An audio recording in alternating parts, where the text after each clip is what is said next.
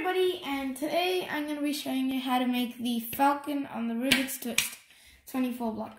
So count the, sorry, just turn the first block two times, and then turn it like that.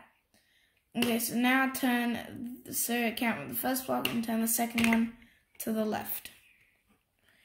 Okay, count one block and then turn this block up.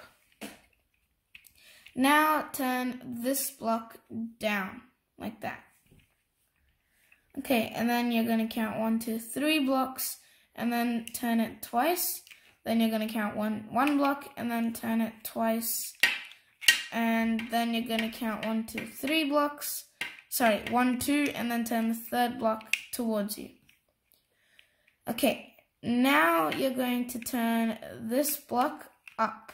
So you're going to turn that block, so that block, that block down there, you're going to turn it up so that this matches.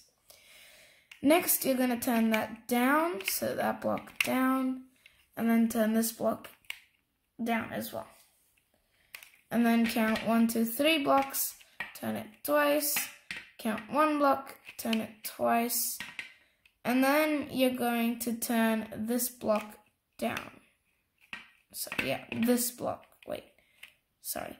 Um, sorry, you're going to turn this block, so one, two, and then turn the third block down like that. And then you're going to count one and then turn that block down again. Okay, so now looking at the bottom, you're going to turn that towards you, so the last two towards you. And then you're going to turn the very last block twice. So now you have the falcon, which looks like that. And that's like its wings folded up, so on the side there.